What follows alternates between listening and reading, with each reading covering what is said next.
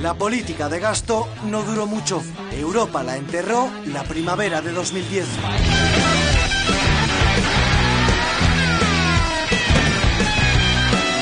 Grecia se asomó al abismo, Alemania se asustó y la receta económica cambió. El gasto público desapareció. El nuevo mantra, la austeridad. Muchas veces se dice que para el crecimiento se necesita más y más dinero, y eso no siempre es cierto. ¿Por qué ese cambio? Una explicación del giro europeo está al otro lado del Atlántico, en la Universidad de Harvard. En dos de sus profesores, Carmen Reinhardt, deuda excesiva, y Kenneth Rogoff.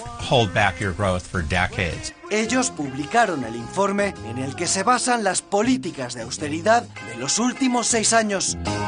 Los economistas afirmaban que a partir del 90% de deuda pública, las economías entraban en recesión. Muchos apoyaron este informe diciendo, esto es lo que defendemos nosotros, estamos acumulando una alta deuda pública y esta alta deuda pública va a condicionar nuestro crecimiento. Es decir, que endeudarse no solucionaba los problemas. El documento se convirtió en la Biblia liberal de la austeridad. En Estados Unidos el bando republicano se adhirió mucho a este informe de Rogoff y y en Europa la Comisión Europea también se apoyó mucho a estos informes. Es decir, lo hizo suyo como principio de autoridad para a partir de ahí imponer una serie de requisitos, de exigencias o de políticas. Seis años de recortes basados en un estudio equivocado.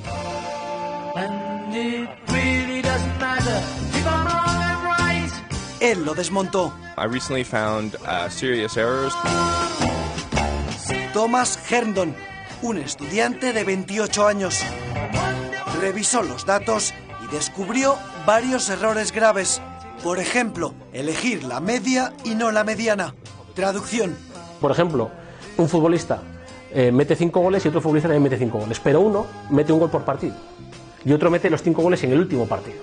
Los dos tienen una media de un gol por partido. Pero la realidad del que mete cinco goles en un único partido no puede ser la misma que la, realidad del que mete un gol por partido. Pero ¿cuál es el error más importante de los descubiertos en el informe? Que sí se puede crecer con una deuda pública de más del 90%. Un ejemplo sería la España de hoy. Con una deuda del 100%, el crecimiento supera el 3%. Una economía fuerte, la que más crece de las grandes economías de la zona euro, esta es la relación entre deuda y crecimiento de la Biblia de la austeridad.